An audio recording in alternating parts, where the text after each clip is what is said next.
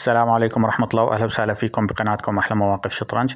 راح نشوف تحليل المباريات بالجولة الثانية من بطولة المرشحين. طبعا تحليل عام يعني إضاءة على المباراة بشكل عام وليس تحليل نقلات بتفصيل شديد لأنه بدنا نلحق كل المباريات وفقط أنتم لا تشوفوا النتيجة. فالآن المباراة الأولى بالجولة الثانية كانت بين دودا ودينج.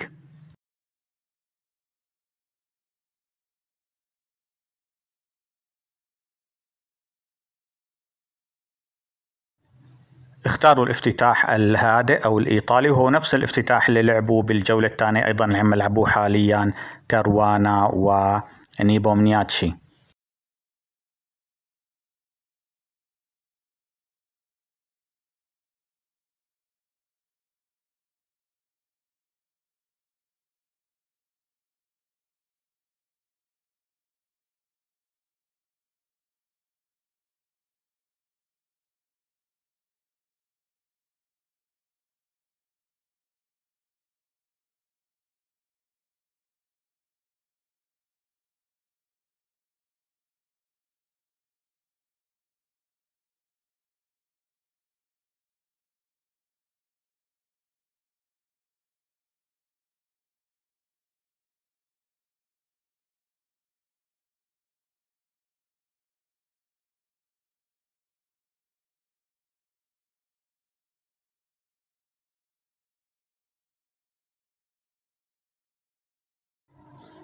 طبعا واضح إنه لاعبين عم يلعبوا بحذر وما عم يخاطروا كل لاعب مثلا بسموه عم يجس نبض اللاعب الآخر وعم ينتظر ربما خطأ أو blunder لحتى يكسب ولكن ما في أي مبادرة بهذا ال game فاذا على ما يبدو إنه ال game بده يتجه للتعادل.